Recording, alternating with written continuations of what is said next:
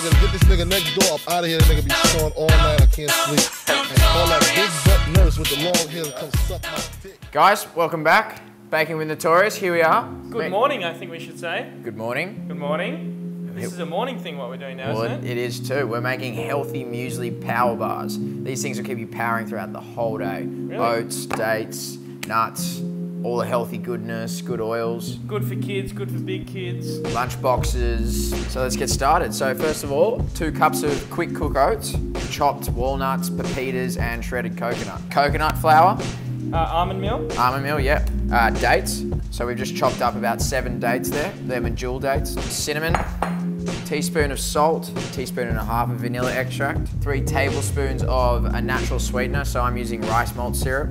Alternatively, a really good one is maple syrup. Then we've got a nut oil. So I'm using almond oil today, but alternatively, a good one would be walnut oil to go with the walnuts that's in the recipe. Last but not least, to bind it, two eggs, a bit of protein. So then we're just gonna mix that around.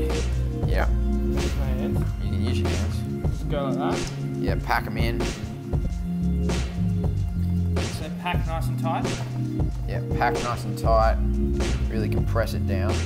How do we finish them off? So now we're coconut. just gonna top them with some shredded coconut. Just sprinkle. Sprinkle and then give it a little pat to just sort of get it into the um, into the mixture. So kind of like that. Yeah. So now we're gonna whack them in the oven, 160 for 18 to 20 minutes. Well done, team. Who wouldn't want to eat that for breakfast Or lunch or smoko. or lunchbox snacks? After work, after school. Well done.